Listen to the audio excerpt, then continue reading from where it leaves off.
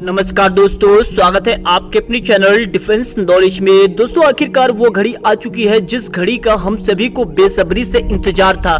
खुद यूएन ने भारत की इतनी तारीफ़ की है और यूएनएससी की स्थायी सदस्यता और वीटो पावर देने की बात कह दी है। एक बहुत ही प्राइस करने वाली खबर आज मैं आप लोगों को सुनाने वाला हूँ, क्योंकि इस खबर को आज सुनने के बाद आज आप बहुत ही ज़्यादा खुश होने वाले हो, क्योंकि यूएन ने जिस तरीके से भारत की तारीफ़ की है, वाकई में भारत के लिए एक बहुत ही और गर्व की बात है। तो आज की इस वीडियो में आप लोगों को बताएँगे कि यूएन ने भारत को लेके क्या कहा है और भारत को वीटो पावर और स्थायी सदस्यता मिलने वाली है या फिर नहीं। बस दोस्तों, वीडियो शुरू करने से पहले आप लोगों से एक छोटी सी प्यारी सी रिक्वेस्ट है। अगर आप लोग हमारे चैनल पे पहली बार आए हो तो नीचे रेड कलर का सब्सक्राइब का बटन है। जाइए फटाफट चैनल को कर लीजिए सब्सक्राइब और वेलाइकन पे प्रेस कर लेना ताकि हमारी वीडियो आप तक सबसे पहले पहुँच सके।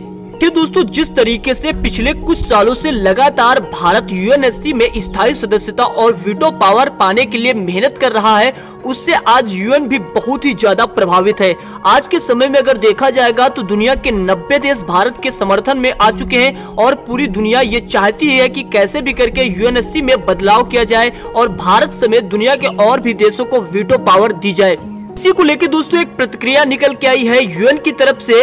यूनाइटेड नेशन जनरल असेंबली के चीफ साबा कुरैसी ने मीडिया से बात करते हुए ये कहा है कि बहुत ही जल्दी यूएन में बदलाव हो सकता है, क्योंकि सबसे बड़ी बात तो उन्होंने भारत को लेकर कह डाली है। उन्होंने कहा कि भारत आज उन देशों में से है जो दुनिया में विश्व शांति बनाए रखने में सबसे ज़्यादा महत्वपूर्ण भूमिका निभाते हैं।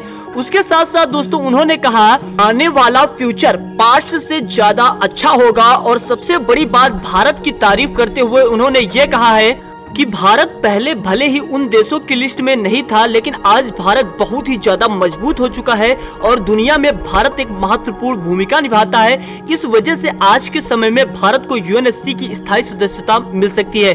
और साथ साथ उन्होंने ये भी कहा है कि भारत के साथ साथ और भी कुछ ऐसे देश है जिनको यूएन की स्थायी सदस्यता और वीटो पावर मिलनी चाहिए। लेकिन दोस्तों, उन्होंने स्पेशली भारत का नाम लिया और भारत की बहुत सारी तारीफें की, जिसकी वजह से आज हम भारतीयों को बहुत ही ज़्यादा गर्व होना चाहिए, क्योंकि मोदी सरकार में भारत को एक अलग ही प्रकार की ताकत मिल चुकी है और भारत बहुत ही ज़्यादा मज़बूत हो रहा है। अगर वीटो पावर और स्थायी सदस्यता मिल गई भारत को तो यकीनन दोस्तों, भारत दुनिया में बहुत ही ज़्यादा पावरफुल हो जाएगा।